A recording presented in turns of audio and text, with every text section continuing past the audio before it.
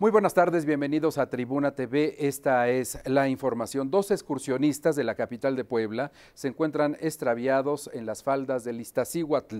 Lo único que se sabe es que ascendieron el sábado anterior sin el equipo adecuado para subir a la montaña. Protección Civil confirmó que realiza trabajos de búsqueda y rescate con el apoyo de unas 60 personas. Uno de los jóvenes extraviados responde al nombre de Ángelo Romero González, de 22 años de edad. Pero ahorita en la mañana ya tuvimos contacto con Cruz Roja, con el grupo de alpinismo de Cruz Roja. Están trabajando ya en el lugar, tienen un puesto de mando en el lugar. Ahorita el, el alcalde nos instruyó a seguir en comunicación con Protección Civil del Estado por la, el apoyo que requieran de nosotros. Si es necesario que subamos, vamos a subir a la montaña. En el municipio de Puebla, 6.000 familias habitan en zonas de riesgo. Por lo anterior, el ayuntamiento capitalino elaboró un atlas de riesgo que desglosa sitios susceptibles de desbordamientos e inundaciones, actividad sísmica y volcánica, así como en donde frecuentemente se presentan incendios forestales.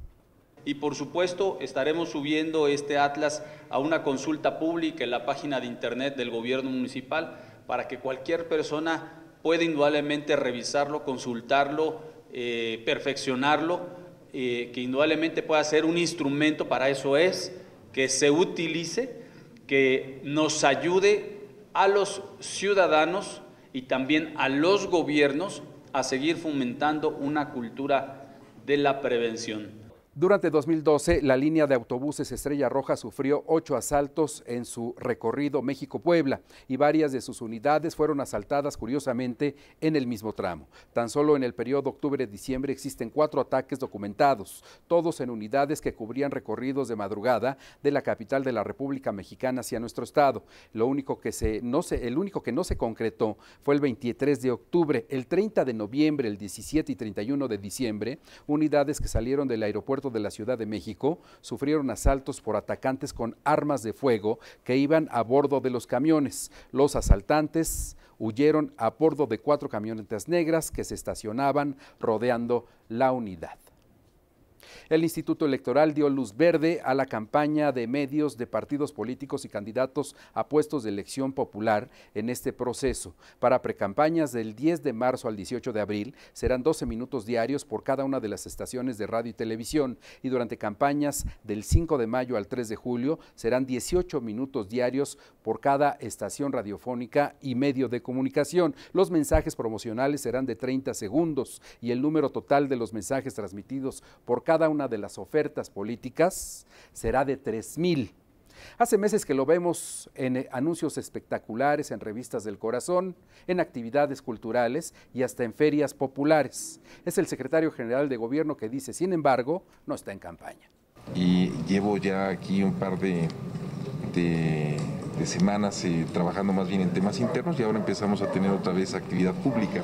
Entonces se me va a ver nuevamente más de mí, pero pues tampoco es de que esté yo en ningún tipo de campaña o de aspiración.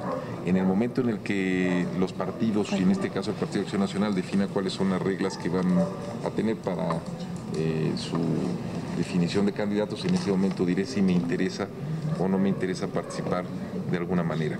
Y después de haber recibido el apoyo de grupos tradicionales del Partido Acción Nacional, el empresario Francisco Rodríguez Álvarez se despojó de las prendas de empresario para hacer política partidista.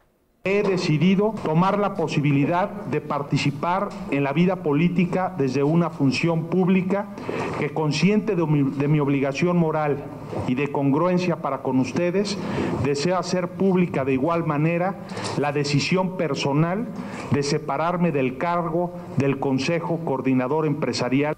Hasta aquí la información. Les recuerdo las direcciones de Twitter, Fer Maldonado número 15, arroba P de Puebla y arroba Tribuna Medios. Y también les recuerdo las emisiones noticiosas de Grupo Tribuna Comunicación a través de las estaciones de costumbre, www.exapuebla.com.mx y también la 1250 en amplitud modulada, la mejor. Gracias por su atención.